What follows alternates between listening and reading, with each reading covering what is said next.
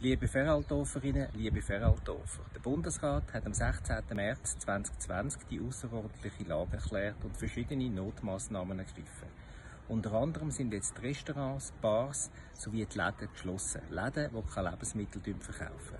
Viele von uns arbeiten im Homeoffice oder müssen daheim bleiben, weil der Betrieb geschlossen ist oder abgefahren worden ist. Auch die Schulen bleiben zu. Die Gemeinsverwaltung bietet aber ein Grundangebot an Dienstleistungen an, jedoch zu reduzierten Öffnungszeiten.